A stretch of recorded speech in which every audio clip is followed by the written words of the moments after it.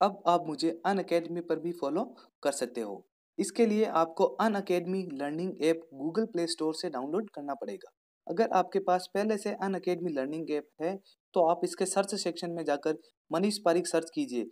आपको Rajasthan current affair के important video series यहाँ पर मिलेगा। अन अकेडमी भारत का सबसे बड़ा लार्जेस्ट लर्निंग ऐप है तो आप इस एप्लीकेशन पर जाकर ज़्यादा से ज़्यादा फ़ायदा उठाएँ। नमस्कार दोस्तों, मैं हूँ मनीष। स्वागत है आपका मेरे इस चैनल पर।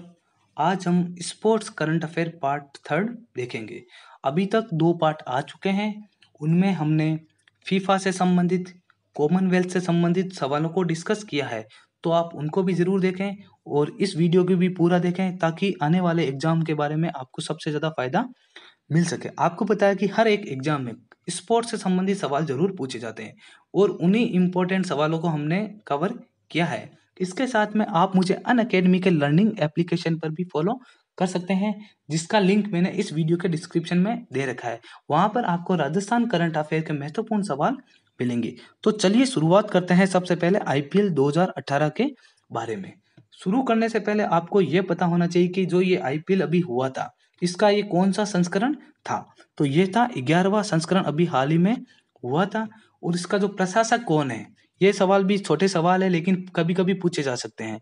तो इसका प्रशासक है बी सी सी आई और इसकी जो टाइटल स्पॉन्सरशिप किसको दी गई है, वो है वीवो जो कि आपने बहुत ही एड में वीवो का नाम देखा होगा। अब चलिए बात करते हैं कि जो इम्पोर्टेंट सवाल और बनते हैं, उनके बारे में। तो आईपीएल का सबसे इम्पोर्टेंट सवाल तो यही है कि इसका विजेता कौन है? तो इसका विजेता है चेन्नई सुपर किंग्स और इनके कप्तान है महेंद्र सिंह धोनी। अब बात करते हैं कि फाइनल मैच के बारे में। तो फाइनल मैच खेला गया था चेन्नई सुपर किंग और सनराइजर हैदराबाद के बीच में और ये मैच हुआ था मुंबई में। इस मैच में चेन्नई सुपर किंग ने सनराइजर हैदराबाद को आठ विकेट से हराया और आईपीएल 2018 का खिताब अपने नाम कर लिया। चेन्नई सुपर किंग ने अभी तक तीन आईपीएल जीते हैं और इसके साथ में ये आईपीएल जीते ही इसने मुंबई इंडियंस के रिकॉर्ड की बराबरी भी कर ली। इसका मतलब मुंबई इंडियंस भी अभी तक तीन बार आईपीएल जीत चुका है। तो ऐसे सवाल भी आपको पूछे जाते हैं जा सकते हैं कि चेन्नई सुपर किंग ने अभी तक कितना आईपीएल जीत चुका है, वो है तीन और मुंबई इंडियंस भी तीन। इसके बाद में कुछ महत्वपूर्ण जो पुरस्कार मिलते हैं, उनके बारे में भी आपको जानकारी होनी चाहिए। तो पहला इंपॉर्टेंट पुरस्कार है ऑरेंज कप तो ऑरेंज कप किसको मिलता है? ऑरेंज कप उसको मिलता है जो आईपीएल में सर्वाधिक रन बनाता है। और सर्वाधिक रन बनाए थे केन विलियम्स जिसको केन विलियमसन भी, कई जगह केन विलियमसन भी लिखा हुआ है। और यह है सनराइजर हैदराबाद के खिलाड़ी। और इन्होंने टोटल 735 रन बनाए थे पूरे आईपीएल में। तो ये ऐसे सवाल भी पूछे जाते हैं। उसके बाद में है पर्पल केप। यह हो गया सर्वाधिक रन का तो ये होगा सर्वाधिक विकेट का। यानी जो खिलाड़ी सर्वाधिक विकेट लेता है, उसको मिलता है पर्पल केप। और ऐसा खिलाड़ी करने वाले खिलाड़ी है एंड्रयू टाई। और ये आपसे पूछे कि किस टीम से संबंधित थे? तो ये थे पंजाब से संबंधित और इन्होंने पूरे आईपीएल में 24 विकेट लिए। तो ये रहा पूरा आईपीएल का सारांश। इनसे आपसे सवाल ज़रूर पूछे जाएँगे। आप जितने भी आगामी एग्ज़ाम दोगे। आगे बढ़ते हैं सवाल नंबर दो पे। वो है गोल्डन शू अवार्ड अगर आपने मेरा फीफा वाला वीडियो देखा होगा तो वहाँ पर आपको एक अवार्ड दिखेगा गोल्डन बूट अवार्ड तो दोनों ही बस शू और बूट का फ़र्क है। बाकी काफ़ी मिलता जुलता नाम है तो आपको कंफ्यूज नहीं होना है। और ये अवार्ड मिलता है जो सबसे ज़्यादा गोल करता है यूरोपियन लीग में। यूरोपियन लीग में फुटबॉल के गेम होते हैं और उन लीग्स में बहुत सारे लीग होते हैं और उन लीग में जो सबसे ज़्यादा गोल करता है, उनको ये गोल्डन शू अवार्ड दिया जाता है और ऐसा करने वाले हैं लियोनल मेसी लियोनल मेसी ने सबसे ज़्यादा गोल किए थे यूरोपियन लीग्स में तो इनको ये अवार्ड दिया गया। और ये अवार्ड मिलता है फुटबॉल में। कई बार सवाल ऐसे भी पूछ लिया जाता है कि गोल्डन शू अवार्ड का संबंध किस खेल से है? तो वो है फुटबॉल से। लियोनल मेसी को इस बार पांचवा अवार्ड मिला था। यानी अभी तक ये चार बार जीत चुके हैं और ये पांचवा इनके हो गया तो टोटल पाँच बार गोल्डन शू अवार्ड जीतने वाले खिलाड़ी है लियोनल मेसी। और ये जो अवार्ड दिया जाता है जो कई अलग अलग प्रकार की यूरोपियन लीग होती है, उनमें अंकों के आधार पर यह अवार्ड दिया जाता है और सबसे अंक ज़्यादा बने लियोनल मेसी के। आपको पता है, लियोनल मेसी एक बहुत ही फ़ेमस खिलाड़ी है, अर्जेंटीना के स्टार फुटबॉलर है और बार्सिलोना टीम से ये खेलते हैं। आगे बढ़ते हैं सवाल नंबर तीन पर। राष्ट्रीय जूनियर कुश्ती प्रतियोगिता। इसका आयोजन फरवरी में हुआ था, ये आप देख सकते हो। इसका जो आयोजन स्थल है, कहाँ पर हुआ था? तो यह हुआ था जयपुर में। तो ऐसे सवाल इंपॉर्टेंट बनते हैं। एक तो राष्ट्रीय लेवल की प्रतियोगिता है और राजस्थान में इसका आयोजन हो रहा है तो ऐसे सवाल भी आपसे पूछे जा सकते हैं। उसके बाद में आता है कि इसके विजेता कौन है? तो इसके विजेता है, वो है हरियाणा। आगे बढ़ते हैं। सवाल नंबर चार। यह है जिम्नास्टिक जिम्नास्टिक विश्व कप में पदक जीतने वाली पहली भारतीय जिम्नास्टिक विश्व कप है और पहला, पहली बार जीता है तो ये सवाल भी इम्पोर्टेंट बनता है। तो उनका नाम है अरुणा बुद्धा रेड्डी। इन्होंने कांस्य पदक जीता है और कौन सी स्पर्धा में जीता है? तो ये स्पर्धा का नाम है महिला वोल्ट स्पर्धा।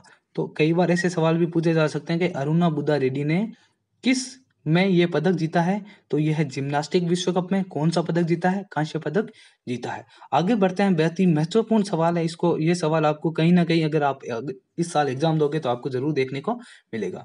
वो है विश्व बैडमिंटन प्रतियोगिता का थॉमस कप किसने जीता? तो थॉमस कप जीतने वाला जो टीम है, उसका नाम है चीन। और ये दसवीं बार चीन ने जीता है, जो फाइनल मैच हुआ था, वो होता चीन और जापान के बीच में, जिसमें जापान को हरा दिया गया। अब आपको आग, आगे इसी वीडियो लेक्चर में आप उबेर कप के बारे में भी पढ़ोगे। तो उबेर कप और थॉमस कप ये सवाल भी कई बार पूछे गए हैं कि थॉमस कप है उसका संबंध किस खेल से है? तो थॉमस कप का संबंध भी बैडमिंटन से है। आगे अपन उबेर कप के बारे में भी पढ़ेंगे। तो उबेर कप का भी संबंध बैडमिंटन से है। जो थॉमस कप होता है वो पुरुषों के लिए बैडमिंटन प्रतियोगिता होती है जबकि उबेर कप होता है वो महिलाओं के लिए बैडमिंटन प्रतियोगिता होती है। आगे बढ़ते हैं सवाल नंबर छह पर। यह है ऑस्ट्रेलिया ओपन 2018 का विनर कौन है? तो कई बार सवाल यह भी बनता है कि ऑस्ट्रेलिया ओपन किस खेल से संबंधित है? वो है टेनिस से संबंधित। और इस खेल के अगर विजेता की बात करें तो बहुत सारे विजेता होते हैं युगल में, सिंगल में। तो अपन केवल सिंगल के देखेंगे, ज़्यादा महत्वपूर्ण है और इन्हीं के ज़्यादा चांसेस आने के बनते हैं। तो पुरुष वर्ग का खिताब मिला था रोजर फेडरर को, जो कि स्विट्जरलैंड के खिलाड़ी हैं। और महिला वर्ग का अगर खिताब पूछे तो ये मिला था कैरोलिन वोजनियाकी, जो कि डेनमार्क है। नाम थोड़े से कठिन ज़रूर है, लेकिन आप लिखने, लिख के इनको याद करें ताकि आपको थोड़ा सा ही इनका नाम याद हो जाए। उसके बाद में बात करते हैं फ्रेंच ओपन की। तो फ्रेंच ओपन 2018 जो कि मई, जून में होता है, और इनमें जो पुरुष एकल का खिताब मिला था, वो है राफेल नाडाल, और महिला एकल का खिताब है, वो मिला था सिमोना हालेप, जो कि रोमानिया की खिलाड़ी है। आपने देखा होगा कि ऐसे Australian Open French Open US Open तो इनके बारे में आपको थोड़ी सी जानकारी दे देता हूँ। पूरे साल भर में ऐसे चार ग्रैंड स्लैम होते हैं, ठीक है?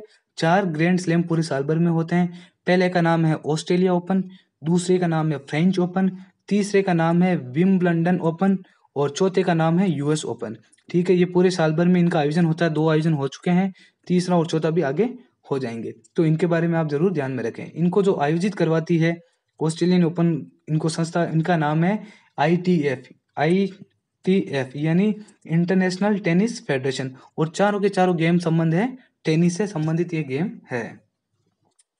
आगे बढ़ते हैं, सवाल नंबर आठ पे। दुनिया के दूसरे सबसे कम उम्र के, दूसरे सबसे कम उम्र के ग्रैंड मास्टर बनने की उपलब्धि किसने हासिल की है? तो देखो, बहुत ही बड़ी उपलब्धि है। तो ये उपलब्धि हासिल करने वाले हैं प्रज्ञा नंद, ठीक है? और इनकी आयु की बात करें तो ये केवल बारह वर्ष, दस माह के। ये देख लो कि इस, इतनी कम उम्र में ये उन्होंने किताब हासिल करा है। और ये किताब किस प्रतियोगिता में हासिल करा है? तो उस प्रतियोगिता का नाम है शतरंज प्रतियोगिता। तो आप प्रतियोगिताओं के नाम भी ज़रूर ध्यान में रखें। कई बार प्रतियोगिता से संबंधित डायरेक्ट सवाल पूछ लिया जाता है। आगे बढ़ते हैं सवाल नंबर नौ पर। सब जूनियर नेशनल वॉलीबॉल चैंपियनशिप का विजेता कौन है? तो इसका विजेता राजस्थान है, इसलिए राजस्थान के करंट अफेयर में ये सवाल पूछा जा सकता है। दूसरा इंपॉर्टेंट सवाल इसलिए भी बनता है क्योंकि इसका आयोजन हुआ था झुंझुनू, जो भी, जो कि राजस्थान में। यानी इसका आयोजन भी राजस्थान में हुआ था और जीता भी राजस्थान में अगर फाइनल मैच की बात करें तो राजस्थान का मैच हुआ था आंध्र प्रदेश से, जिसमें आंध्र प्रदेश को हरा दिया गया और इस चैंपियनशिप का विनर बन गया राजस्थान। आगे तीन बहुत ही इंपॉर्टेंट सवाल है और बहुत ही मोटिवेशन से संबंधित सवाल है, जो कि आपको बताएँगे कि भारत में लोग क्या क्या कर रहे हैं? तो अगला सवाल है, दसवां, वो है ओशन सेवन चैलेंज को पूरा करने वाला पहले भारतीय कौन है? तो वो है रोहन मौर्य। अब आपको मैं बताता हूँ कि ओशन सेवन चैलेंज होता क्या है। जैसा कि नाम में लिखा हुआ है कि ओशन सेवन यानी इसमें सात समुद्र से संबंधित ये कोई गेम है। और समुद्र में की जाती है तैराकी तो मतलब ये कुछ तैराकी से संबंधित गेम हो गया। ओशन सेवन चैलेंज को आप पानी का मैराथन भी कह सकते हैं। जैसे मैराथन दौड़ होती है, बहुत ही लंबी दूरी की दौड़ होती है वैसे ही ओशन सेवन चैलेंज को आप पानी में होने वाली मैराथन भी कह सकते हो। अब बात करें ये चैलेंज क्या है? तो इस चैलेंज में आपको जो सात समुद्र है दुनिया के, ठीक है, उनको पार करना होता है। तो इस ओशन सेवन चैलेंज में सात समुद्री चैनल होते हैं। आपको पता है कि समुद्र कितना तैरना कितना खतरनाक है। उनको ये पार करने वाले पहले भारतीय बने, उनका नाम है रोहन मौर्य जो कि पुणे के निवासी है। अब आपको बताता हूँ कि दुनिया में इतने ऐसे कितने व्यक्ति हैं जिन्होंने ये चैलेंज पार किया है? तो अभी तक दुनिया में नौ व्यक्ति ही ऐसे हैं जिन्होंने ये चैलेंज पार किया है और नौवे तैराक बने हैं अपने भारत के रोहन मौर्य तो ऐसे सवाल आपको ज़रूर याद में रखना चाहिए। आगे बढ़ते हैं सवाल नंबर ग्यारह पे। ये भी बहुत ही गौरव की बात है, राजस्थान के लिए आपको बहुत खुशी होगी एक सवाल को पढ़ ही। सबसे कम उम्र में अरब सागर में सैतालीस किलोमीटर की दूरी तय करने का रिकॉर्ड किसने बनाया? देखिए, पहले तो सैतालीस किलोमीटर चलना भी बहुत बड़ी बात है। वो भी अरब सागर में। तो ऐसा करने वाले जो है, उनका नाम है गौरवी। ये ये है अपने उदयपुर की लड़की है और इसकी आयु की बात करें तो मात्र चौदह साल की उम्र में। अरब सागर जैसे में तैर के, वो भी सैतालीस किलोमीटर इन्होंने तैराकी की है और ये रिकॉर्ड, अलग ही रिकॉर्ड इन्होंने अपने नाम बनाया है। इन्होंने जुहू बीच से लेके गेटवे ऑफ़ इंडिया इनके बीच की दूरी है सैतालीस किलोमीटर। उस दूरी को मात्र नौ घंटे बाईस मिनट और पैंतीस सेकंड में पार किया है, जो कि बहुत ही बड़ी उपलब्धि है। जब इन्होंने तैराकी शुरू की थी तो उनके स्टार्टिंग में तो कुछ डॉल्फिन मछली होती, वो इनके पैरेलल में चल रही थी। इसके बाद में इन बहुत सारा कचरा भी था, मछलियाँ भी होती है समुद्र में और मछलियों को पकड़ने वाली जाली भी होती है।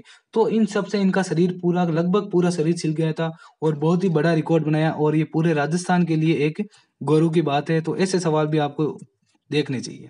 आगे बढ़ते हैं। लास्ट सवाल ये है कि उबेर कप है, वो इसका विजेता कौन है? अभी मैंने हाल ही में बताया था कि उबेर कप भी एक बैडमिंटन से संबंधित गेम होता है।